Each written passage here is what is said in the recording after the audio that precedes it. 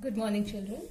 Today we will study the last topic of the chapter parturition and lactation. Now, what is parturition? In simple terms, it is to deliver a baby. Partiru means to be in labor. As you know, the child remains in the mother's womb for nine months plus or minus seven days. Means nine months plus seven days or nine months minus seven days. The delivery can take place after nine months also, before nine months also. And this is counted from the first day of the last menstrual cycle. And this period is known as gestation period and the weight of the baby, the ideal weight of the baby, is about 3 kg at the time of birth. Now, this parturition process is totally a hormonal process and it is controlled by different hormones. So, you have to learn it very properly and the role of the hormones and for that I have made a flow chart so it will be very easy for you to understand it. Now, when the full gestation period is complete, this fully developed fetus and placenta induce signals. So, by this, what happens? The uterine muscles contract.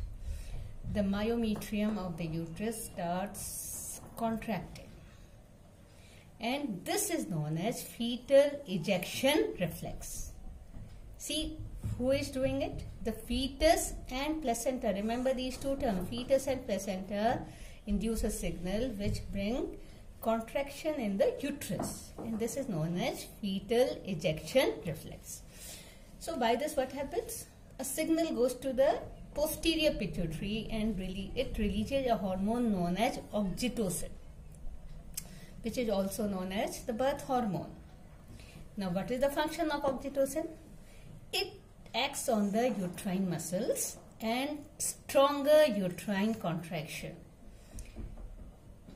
Means the uterus starts contracting vigorously and more contractions, more secretion of oxytocin. And ultimately the contractions become so much that it leads to the expulsion of the baby. So this portion is very easy. The placenta and the fetus induce signals by uterine contraction. What will that do? The uterus will contract which is known as fetal ejection reflex and this will secrete the hormone oxytocin. Oxytocin will cause more uterine contraction and more uterine contraction means more secretion of oxytocin and ultimately it leads to the birth of the baby. Now there is one more hormone that is known as relaxin.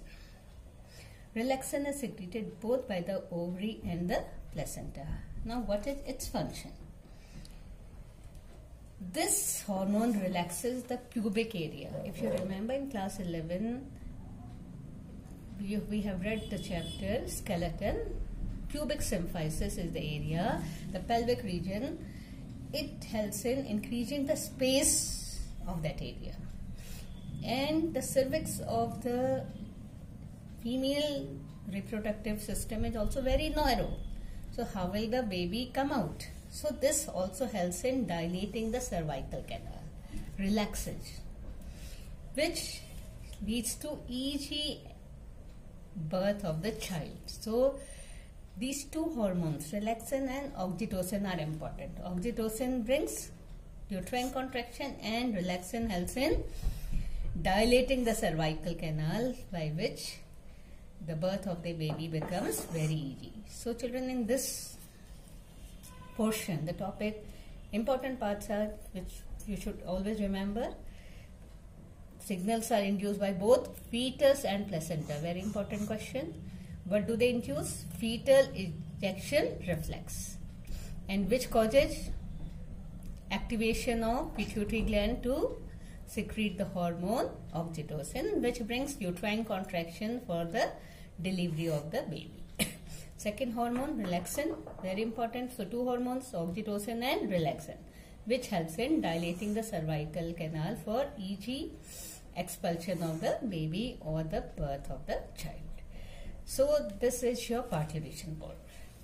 Now the second topic is lactation. What is lactation children? Lactation means production and release of milk from mammary glands. Now lactation word has come from the term lactose. What is lactose? This is milk sugar, means a carbohydrate which is present in the milk that is known as lactose. So this process is known as lactation.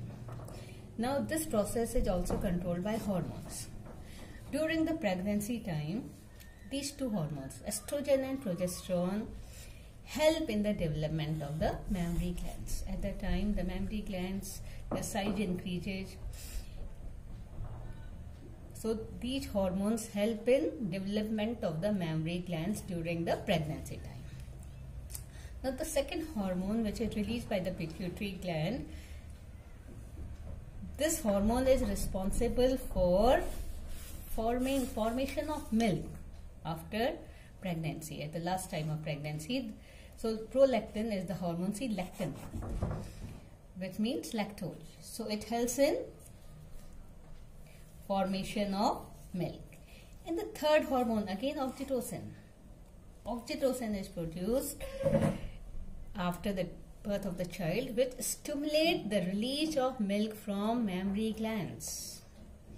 So there this is there after the birth of the child it needs nutrition.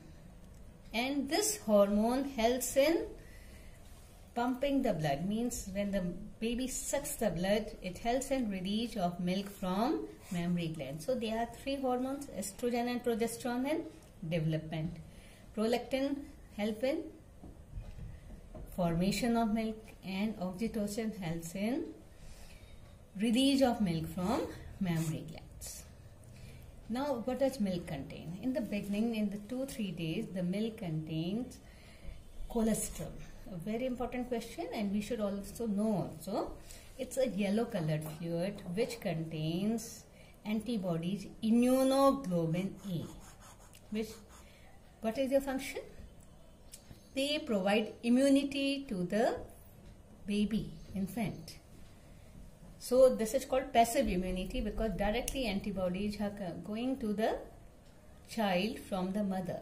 So colostrum is a very important part of the milk which is secreted in the first two three days and which should always be given to the child which protects it from different diseases.